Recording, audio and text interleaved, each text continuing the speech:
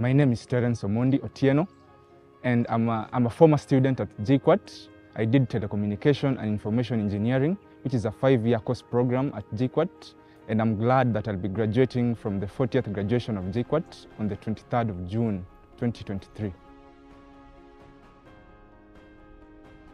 My experience as a student in JKUAT, I can say it's kind of spectacular. It's been an it's been a, a long journey uh, since my course is a five-year course.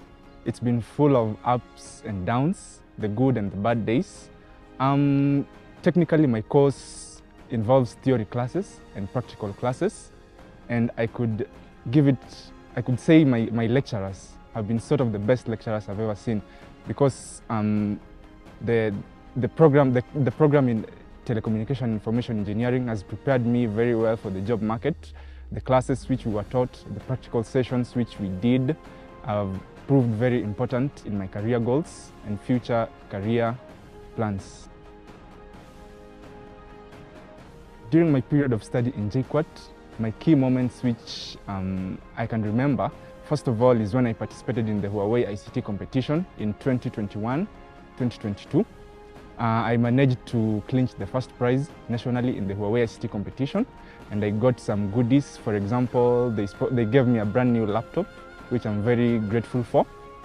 But fortunately or unfortunately, the Huawei, the Huawei ICT competition, um, it's sort of a staged uh, competition. The first stage involves the preliminary stage. The second stage involves the national stage. The third is the regional stage, which is Africa. Then the last stage is the global stage. So in 2021, I managed to reach the regional stage. But then again, I said, why not give it another shot? So I participated again in the competition in 2023. And this time round, I reached the global finals. And I'm glad that Huawei gave us an opportunity to go to Shenzhen, China, to participate in the global Huawei ICT competition. Um, during that time, I can say it was quite a remarkable experience because it was my first time going out of Kenya. So the competition gave me an opportunity to interact with other students from all over the world. And also I participated in the network track. Uh, the competition is a hands-on experience kind of uh, competition. So I, I, can say that it has given me a, a step ahead in my career goals in the networking sector. So let me take this opportunity to thank Huawei and JKUAT for the support they gave me during the competition period.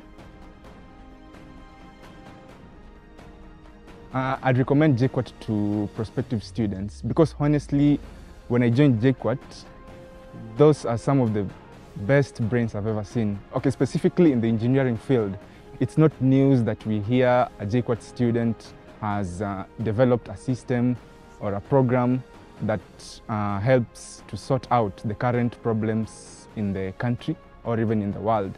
So I'd really recommend JKUAT because it has one of the best lecturers out here in the country. And also the students are quite sharp and I'd really recommend it because the programs JKUAT offer are one of the best programs in this country.